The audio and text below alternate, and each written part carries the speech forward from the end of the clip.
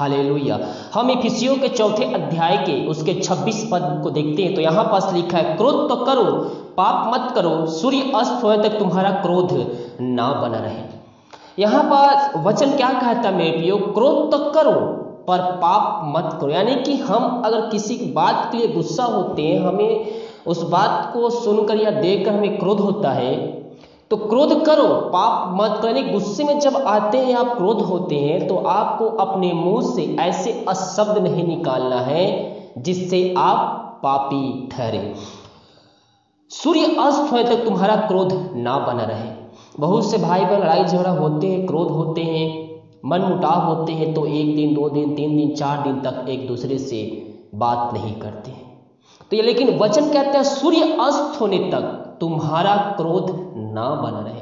यानी कि सूर्य ढलने से पहले आपको उस व्यक्ति से जाकर मेल मिलाप करना है।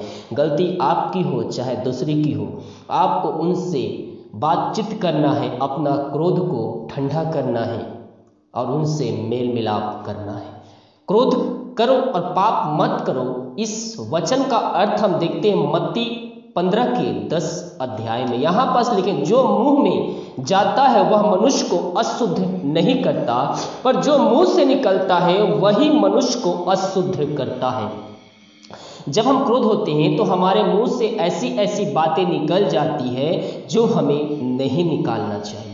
इसीलिए यहाँ पास वचन कहता है, क्रोध करो, पर पाप मत करो। जैसे कि गाली आप देते हैं, किसी को श्राप देते हैं, किसी को और कुछ बोल देते हैं, वो हमें क्या? हमारे मुँह से पाप हम बोल डालते हैं और पाप हम कर जाते हैं। लेकिन वचन कहता है, मत्ती पंद्रह के दस में, जो मुँह में जाता है, वह मनुष्य को अशुद्ध नहीं करता। जो मुँह से निकलता है, वही मनुष्य को अशुद्ध करता है। यानी कि हमारे बोलने, चालने, हम क्रोध में आकर ऐसे मुँह से अशुद्ध बातें निकालते हैं, जिससे हम अशुद्ध हो जाते हैं और हम पाप कर डालते हैं। हालेलुया। इसीलिए मेरे पियो इन बातों को आपको ध्यान रखना है और इस वचन के कहे जाने पे हमें चलना है। सूर्य अस्त होने तक हमारा जो क्रोध है, वो ठंडा हो जाना चाहिए। दूसरा कुंतियों पाँच के सत्रह पद में लिखा है, इसलिए यदि कोई मसीह में है तो वह नई सृष्टि है। पुरानी बातें बीत गई, देखो सब नई हो गई है। हालेलुया। अगर आपके मन में किसी के प्रति क्रोध है, किसी के प्रति विरोध है, किसी के प्रति जलन है तो उन सभी बातों को अपने हृदय से निकाल दीजिए मसीह में आने के बाद, क्योंकि आप मसीह में एक नई सृष्टि बन चुके हैं मेरे पियो हालेलुया।